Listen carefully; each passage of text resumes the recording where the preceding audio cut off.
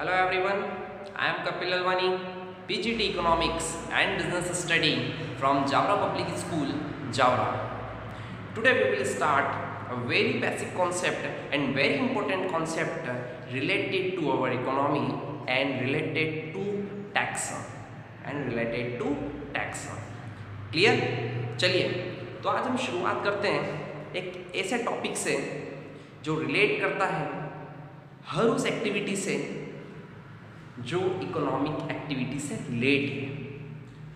ये टॉपिक सिर्फ़ केवल किसी एक पर्टिकुलर स्टूडेंट के लिए इम्पोर्टेंट नहीं है। ये न तो किसी ये कॉमर्स स्टूडेंट के लिए तो इम्पोर्टेंट है ही। प्लस साथ साथ में ये हर उन स्टूडेंट के लिए इम्पोर्टेंट है या हर उन पर्सन के लिए इम्पोर्टेंट है जो मार्केट में जाते हैं गुड्स एंड सर्विसेज़ परचेज करते हैं माल खरीदते हैं, बेचते हैं इनकम अर्न करते हैं, ये सारी एक्टिविटी करते हैं।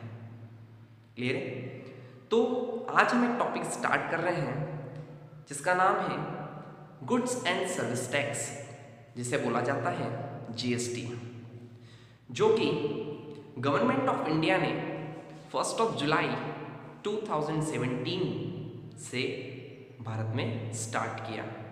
और इसके पहले भी गवर्नमेंट ऑफ़ इंडिया ने कई टैक्स सिस्टम थे जो टैक्स लगाए जाते थे पर्सनस के ऊपर। क्लियर है? तो फ़र्स्ट ऑफ़ जुलाई से इंडिया ने एक सिंगल पॉइंट ऑफ़ टैक्स एक single point of tax start किया, जहाँ पर कई सारे टैक्सेस को जो अलग अलग टैक्सेस चार्ज करते थे, जिसके कारण बहुत सारी प्रॉब्लम जनरेट होती थी टैक्स को चार्ज करने की रिकवर करने की। उन सारी प्रॉब्लम्स को हटाकर भारत सरकार ने एक सिंगल पॉइंट ऑफ़ टैक्स जो गुड्स एंड सर्विसेज़ पर लगता है, उस टैक्स को स्टार्ट किया, जिसका नाम दिया goods and service tax clear तो चलिए गुड्स एंड सर्विस टैक्स को सीखने से पहले इस गुड्स एंड सर्विस टैक्स का सबसे लास्ट वाला वर्ड टैक्स टैक्स क्या होता है? पहले ये सीखें। बाद में हम इन चीज़ों को सीखेंगे कि गुड्स एंड सर्विस टैक्स क्या होता है। पहले हमें ये पता होना चाहिए कि टैक्स क्या होता है। चलो मैं एक छोटे से एग्ज़ाम्पल के थ्रू एक छोटी सी कहानी के थ्रू मैं आपसे बात करने की कोशिश करता हूँ कि टैक्स क्या होता है। क्या आप भी टैक्स देकर आए क्या मैंने भी टैक्स दिया है? क्या भारत का हर पर्सन जो कोई ना कोई एक ऐसी एक्टिविटी कर रहा है, कहीं ना कहीं, किसी न किसी फॉर्म में उसे टैक्स देना ही पड़ता है। मान लो, एक छोटे से एग्ज़ाम्पल के थ्रू छोटी सी कहानी के थ्रू मैं आपसे एक बात करता हूँ। मान लो मैं मार्केट में गया। मार्केट में जाकर मैंने एक टूथपेस्ट परचेज किया कोलगेट मैंने एक टूथपेस्ट परचेज किया, जो किस ब्रांड का था? कोलगेट का था। मैंने वो परचेज किया। और मार्केट में जाकर जैसे ही परचेस किया शॉपकीपर ने मुझे वो कोलगेट दिया और देने के बदले में मुझसे फिफ्टी रुपीज़ क्या किए? चार्ज किया। मैंने फिफ्टी रुपीज़ पे किए और पे करने के बाद मैं घर आया। घर आने के बाद मुझे लगा कि मैंने तो सिर्फ़ पचास रुपये जो पे किए थे, वो पचास रुपये जो फिफ्टी रुपीज़ पे किए थे, वो तो सिर्फ़ गुड्स के थे। बताओ, क्या जो अमाउंट आपने फिफ्टी रुपीज़ पे किया वो फिफ्टी रुपीज़ सिर्फ़ गुड्स का था? या उस फिफ्टी रुपीज़ में कोई एक ऐसा अमाउंट इंक्लूड था जो गुड्स के अलावा था? गुड्स के अलावा था। यस आपने फिफ्टी रुपीज़ में हो सकता है, हो सकता है उसमें फाइव रुपीज़ जो है, आपने उसके टैक्स के पेमेंट किए। किस चीज़ का पेमेंट किया? टैक्स का। एक्चुअल शॉपकीपर ने एक्चुअल में शॉपकीपर ने गुड्स का तो पैसा सिर्फ़ फोर्टी फाइव ही लिया है। कितना पेमेंट लिया आपसे? फोर्टी फाइव ही लिया। फाइव रुपीज़ तो आपसे किसके लिए है? टैक्स के लिए है। यानी आप एक छोटी सी चीज़ जो मार्केट में खरीदने गए, उस पर भी आपने टैक्स पे कर दिया, वो कंपलसरी पे कर दिया। कंपलसरी पे करना पड़ा। क्या अगर मान लो आपको पता होता कि उस पचास रुपये की वैल्यू की गुड्स में अगर पाँच रुपये का टैक्स इंक्लूड है तो क्या आप उस शॉपकीपर को ये बोल सकते थे कि मुझे टैक्स पे नहीं करना, मुझे तो फोर्टी फाइव रुपीज़ में गुड्स दे दो? नहीं सर, ऐसा आप बिल्कुल भी नहीं बोल सकते थे। क्यों? क्योंकि tax is a compulsory charge. Compulsory charge imposed by the government of India या डिपार्टमेंट ऑफ़ द गवर्नमेंट कौन चार्ज करता है? गवर्नमेंट डिपार्टमेंट गवर्नमेंट का एक डिपार्टमेंट है, जो जिस डिपार्टमेंट के में आते हैं, वो डिपार्टमेंट आपसे क्या करता है? टैक्स चार्ज करता है। और कंपलसरी चार्ज है। जो आपको देना है, ऑप्शनल नहीं है, आपके पास कहीं पर भी ऑप्शन नहीं है कि आप टैक्स देने की इच्छा नहीं रखते हो। आप ये नहीं बोल सकते हो, मेरी टैक्स देने की इच्छा नहीं है, इसलिए मैं टैक्स नहीं दूँगा। कंपलसरी आपको टैक्स देना ही देना है। क्लियर है? तो आपको मीनिंग समझ में आया टैक्स क्या होता है? तो देखा आपने, एक छोटी सी चीज़ पर भी आपने क्या दिया टैक्स दिया। यानी हर वो पर्सन जो कहीं ना कहीं एक ऐसी एक्टिविटी करता है, जो टैक्स के दायरे में आती है, जो टैक्स के दायरे में आती है, उस पर उसे टैक्स देना ही देना है। एक और एग्ज़ाम्पल मैं आपको लेता हूँ। मान लो मिस्टर राम जो है, वो इनकम अर्न करते हैं, वो सैलरी अर्न करते हैं। वो एक ऑफ़िस में वर्क करते हैं और एम्प्लॉयर उनका एम्प्लॉयर अपने एज ए एम्प्लॉय को क्या करता है? सैलरी पेमेंट करता है। क्या उस सैलरी के ऊपर भी टैक्स देना पड़ेगा? क्या जो इनकम मिस्टर राम ने अर्न की है, उस इनकम पर भी मिस्टर राम को टैक्स देना पड़ेगा? यस सर मिस्टर राम को भी क्या देना पड़ेगा? टैक्स देना पड़ेगा। वो कितना देना पड़ेगा? किस लिमिट तक देना पड़ेगा? वो सब बाद की बातें हैं। पर क्या मिस्टर राम ने कोई इनकम अर्न की थी? यस सर सैलरी के फॉर्म में इनकम अर्न की थी। मतलब मिस्टर राम लाइबल है क्या टैक्स देने के लिए? और गवर्नमेंट उनसे कंपलसरी क्या करेगी? लेगी। क्या लेगी? टैक्स लेगी। क्लियर है? तो चलिए, हम एक डेफिनेशन की ओर जाते हैं। समझते हैं बहुत ही अच्छे तरीके से कि what is the tax clear तो tax a tax is a compulsory मैंने आपको बताया कंपलसरी ऑप्शन कहीं पर भी नहीं है। गवर्नमेंट ऑप्शन देती कि आपकी इच्छा हो तो दे दो, नहीं हो तो मत दो नहीं, ऐसा कुछ भी नहीं है। A tax is a compulsory financial charge financial charge और some other type of levy levy का मतलब होता है बेटा लेवी का मतलब होता है इम्पोज करना चार्ज करना। ठीक है? और some other type of levy impose upon tax payer किसके ऊपर? Tax payer sir tax payer कौन है? हर वो पर्सन जिसने इनकम अर्न की है हर वो पर्सन जिसने exchange of goods and services किए, हर वो पर्सन जिसने कहीं ना कहीं एक ऐसी एक्टिविटी की है जो टैक्स के दायरे में आती है, वो हर पर्सन क्या होगा? टैक्स पेयर होगा। ठीक है? Levy impose upon a tax payer by the governmental organisation कौन इम्पोज करेगा? सर गवर्नमेंटल ऑर्गेनाइजेशन क्या करेगी? इम्पोज करेगी। किसके ऊपर इम्पोज करेगी? टैक्स पेयर के ऊपर इम्पोज करेगी। क्या इम्पोज करेगी सर टैक्स इम्पोज करेगी। टैक्स देना ऑप्शनल है या कंपलसरी है सर कंपलसरी है। बात समझ में आ गई बेटा आपको? ठीक है? तो टैक्स जो है, वो कंपलसरी पेमेंट है, जो हर टैक्स पेयर को देना पड़ता है कि किसे गवर्नमेंट ऑर्गेनाइजेशन को समझ में आया? तो माय डियर फ्रेंड्स चलिए अब आगे सीखते हैं कि टैक्सेस के टाइप्स क्या है। सर टैक्स का मीनिंग हमने समझा, अब टैक्स के टाइप को सीखते हैं। सर, इंडिया में दो टाइप से टैक्सेस हमसे लिए जाते हैं। या तो वो डायरेक्ट टैक्स के फॉर्म में लिए जाएँगे, या फिर वो इनडायरेक्ट टैक्स के फॉर्म में लिए जाएँगे। What is the direct tax and what is the indirect tax समझना बेटा, एक एग्ज़ाम्पल पहले बात करता हूँ, फिर उसके बाद में चीज़ों को समझाने की कोशिश करता हूँ। डायरेक्ट टैक्स का मतलब ये होता है कि मान लो कि अभी मैंने एग्ज़ाम्पल लिया था कि मिस्टर राम ने रिलायंस कंपनी में जॉब की और रिलायंस कंपनी में मिस्टर मुकेश अंबानी ने उन्हें सिक्स लाख रुपीस की सैलरी पे की। तो बताओ इनकम अर्न किसने की? किसने इनकम अर्न की? मिस्टर राम ने इनकम अर्न की। तो government of India mister Ram से कहती है कि मिस्टर राम आपने जो इनकम अर्न की है, उस इनकम पर टैक्स आपको देना पड़ेगा। ये आपकी लाइबिलिटी है कि जो इनकम आपने सैलरी के फॉर्म में अर्न की है, उस इनकम पर आपको टैक्स देना पड़ेगा। ठीक है? मुझे बताओ इनकम कमाई किसने थी? ध्यान से समझना बेटा इनकम कमाई किसने थी? मिस्टर राम ने। टैक्स भी गवर्नमेंट ने किसके से लिया? किससे लिया? मिस्टर राम से लिया। मतलब जो इनकम कमाएगा, वही टैक्स देगा। जो इनकम कमाएगा, वही क्या देगा? टैक्स यानी जिसकी लाइबिलिटी है, वही टैक्स को क्या करेगा? पे करेगा। यानी दोनों ही पर्सन सेम है। लाइबिलिटी भी उसी पर्सन के ऊपर पेमेंट करने की लाइबिलिटी भी उसी के ऊपर पर्सन के ऊपर और चार्ज भी उसी पर्सन के ऊपर किया है। यानी जिस पर्सन की लाइबिलिटी थी, उसी पर्सन ने टैक्स को पेमेंट किया तो उसे हम कहते हैं डायरेक्ट टैक्स क्या कहते हैं इसे हम? डायरेक्ट टैक्स जैसे कि इनकम टैक्स क्या होता है?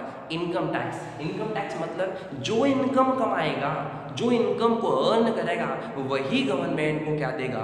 टैक्स देगा। कोई दूसरा पर्सन टैक्स देने नहीं आएगा। मिस्टर राम ने अगर इनकम कमाई है तो मिस्टर श्याम उनका टैक्स नहीं देंगे। टैक्स किसे देना है? मिस्टर राम को ही देना है। समझ में आ गई बात? तो डायरेक्ट टैक्स का मतलब a direct tax is the one the final burden of which is borne by the person whom it is the imposed. Final payment किससे दिया जाएगा जिस पर्सन के ऊपर टैक्स को इम्पोज किया है, जिस पर्सन के ऊपर टैक्स को लगाया है, उसी पर्सन को क्या देना है? टैक्स देना है। एक और एग्जांपल लें। एक और एग्जांपल में तो मैं आपको बताता हूँ। इनकम टैक्स है। मैंने लिखा वेल्थ टैक्स वेल्थ टैक्स संपत्ति कर वेल्थ टैक्स मीन्स क्या होता है? संपत्ति कर मान लो कि आपके पास कुछ प्रॉपर्टी है, और गवर्नमेंट ऑफ़ इंडिया आपसे कहती है कि जितनी आपके पास प्रॉपर्टी है, उस प्रॉपर्टी पर आपको वन परसेंट के रेट ऑफ़ टैक्स से क्या देना है? टैक्स देना है। मुझे बताओ प्रॉपर्टी किसकी है? मेरी प्रॉपर्टी है। तो टैक्स भी किसे देना पड़ेगा? मुझे ही देना पड़ेगा। तो मुझे बताओ कि वेल्थ टैक्स कौन से टैक्स का टाइप बन जाएगा? डायरेक्ट टैक्स का।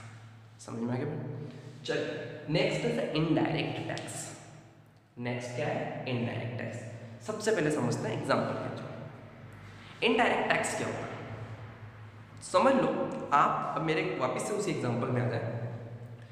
क्या था? मैं मार्केट गया। मार्केट से जाकर मैं फिफ्टी रुपीज़ का क्या करके लेकर आया? एक टूथपेस्ट परचेस करके लेकर आया। फिफ्टी रुपीज़ में मैंने फाइव रुपीज़ का टैक्स पेमेंट किया। मुझे बताओ टैक्स रिकवर किसने किया? पचास रुपये लिए, पचास में से फिफ्टी फाइव गुड्स के लिए फाइव रुपीज़ आपसे टैक्स के लिए। टैक्स ने की रिकवरी किसने की? शॉपकीपर ने। बट उस टैक्स का बर्डन किसके ऊपर आया? टैक्स की, बात वापस के ध्यान से समझना। टैक्स की रिकवरी किसने की? शॉपकीपर ने। टैक्स का बर्डन किसके ऊपर आया? मेरे ऊपर यस सर पचास रुपये मुझसे लिए यानी पाँच रुपये का टैक्स तो अल्टीमेटली मैंने ही पे किया ना। पर रिकवरी किसने की थी? रिकवरी मैंने नहीं की थी। रिकवरी किसने की थी? मैंने तो सिर्फ़ पे किया था। रिकवरी तो शॉपकीपर ने किया था। बोलो बोलो, वो are the different different person recovery कोई और करेगा। टैक्स इम्पोज कोई और करेगा। पे कोई और करेगा। इम्पोज कोई और करेगा। पे कोई और करेगा। तो फिर उस टैक्स को हम कहेंगे इनडायरेक्ट टैक्स क्या कहेंगे उसे हम? इनडायरेक्ट टैक्स तो समझते हैं? It is the tax which is impose on it is the tax which is imposed on one person, but it is paid by another. Imposed कोई और करेगा पे कोई और करेगा, इसलिए इस टैक्स को नाम क्या दिया है? इनडायरेक्ट टैक्स क्लियर है? तो आपको दोनों चीज़ें समझ में आ गई? टैक्स समझ में आ गया डायरेक्ट टैक्स और इनडायरेक्ट टैक्स के बीच में डिफरेंस समझ में आया? Sir direct tax imposed imposed equals to pay equals to same person same person जिसके ऊपर इम्पोज क्या है, वही पे करेगा, यानी दोनों ही पर्सन क्या हो गए? सेम यानी अब मुझे बताओ इम्पोज किसने किया?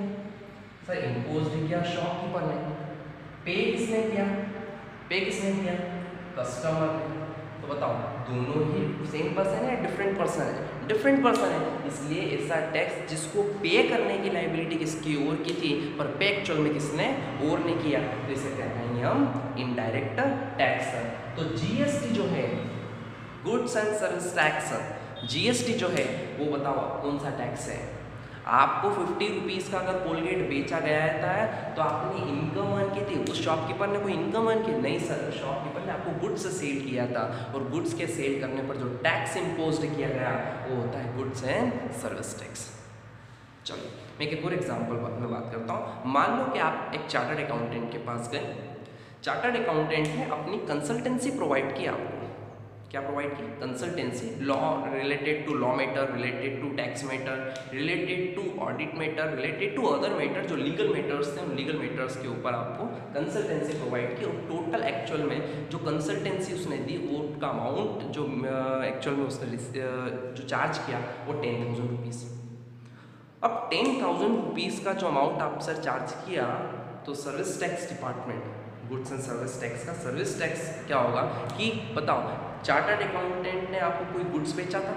नहीं बेचा था। चार्टर्ड अकाउंटेंट ने आपको सर्विसेज़ प्रोवाइड की थी। गवर्नमेंट ऑफ़ इंडिया जो सर्विसेज़ चार्टर्ड अकाउंटेंट प्रोवाइड करेगा, उसे कहेगा कि आपको अपने क्लाइंट से, आपको अपने क्लाइंट से क्या लेना है? टैक्स लेना है। किस फॉर्म में? सर्विस टैक्स के फॉर्म में। किस फॉर्म में लेना है? सर्विस टैक्स तो चार्टर्ड अकाउंटेंट ने टेन थाउज़ेंड जो उसकी सर्विस चार्ज थी plus ten percent total one thousand rupees plus ten thousand eleven thousand rupees total client से रिकवर किए। तो मुझे बताओ ten thousand plus one thousand total eleven thousand जो रिकवर किए, उस इलेवन थाउज़ेंड में वन थाउज़ेंड तो टैक्स था। क्या वो वन थाउज़ेंड रखने का राइट वन थाउज़ेंड को रखने का राइट चार्टर्ड अकाउंटेंट के पास है, या उस वन थाउज़ेंड को गवर्नमेंट को पे करना पड़ेगा? गवर्नमेंट को पे करना पड़ेगा। यानी यहाँ पर भी फिर डिफरेंट पर्सन होगा। इम्पोज किसने किया आपके ऊपर टैक्स चार्टर्ड अकाउंटेंट ने। एक्चुअल में पे किसने किया? क्लाइंट ने पे किया, यानी इम्पोज किसी और ने किया पे किसी और ने किया, इसलिए ये इनडायरेक्ट टैक्स है। ठीक है? तो गुड्स एंड सर्विस टैक्स जो है, वो क्या है? गुड्स के ऊपर लगने वाला टैक्स और सर्विसेज़ के ऊपर लगने वाला टैक्स चलिए, अभी तक तो हमने मीनिंग समझा कि टैक्स क्या होता है, फिर हमने मीनिंग समझा डायरेक्ट टैक्स क्या होता है, फिर हमने मीनिंग समझा इनडायरेक्ट टैक्सेस क्या होता है। चलिए अब हम मीनिंग समझते हैं, जो टॉपिक मैंने शुरू में शुरुआत की थी, उस टॉपिक के ऊपर अब मैं आ रहा हूँ आपको कि एक्चुअल में गुड्स एंड सर्विस टैक्स क्या होता है। क्लियर और गुड्स एंड सर्विस अब मुझे बताओ, इस गुड्स एंड सर्विस टैक्स को इन दोनों में से आप किस टाइप में रखेंगे? Sir goods and service tax जो है, वो कौन सा टैक्स है? इनडायरेक्ट टैक्स है। क्या ये? इनडायरेक्ट टैक्स है। क्या डेफिनेशन है गुड्स एंड सर्विस टैक्स की? Goods and service tax is a indirect tax ठीक है? Is a indirect tax used in India, used in India on the supply of, on the supply of goods and services. On the supply of goods and services जो goods and services क्या हो रही है? Supply हो रही है. वो goods and services के ऊपर गवर्नमेंट ऑफ़ इंडिया आपसे क्या लेगी? जीएसटी लेगी. क्या लेगी? जीएसटी लेगी. Goods and service tax sir first of July 2017 से पहले इंडिया में क्या और कौन कौन से टैक्स सिस्टम एप्लीकेबल थे? और किन टैक्स को हटाकर जीएसटी बनाया गया? किन टैक्सेस को हटाकर, किन टैक्सेस को हटाकर जीएसटी को इंक्लूड किया गया? जीएसटी को तैयार किया गया? तो मैं बताता हूँ जीएसटी को तैयार करने के लिए किन किन टैक्सों की बलि देनी पड़ी गवर्नमेंट को। ठीक है?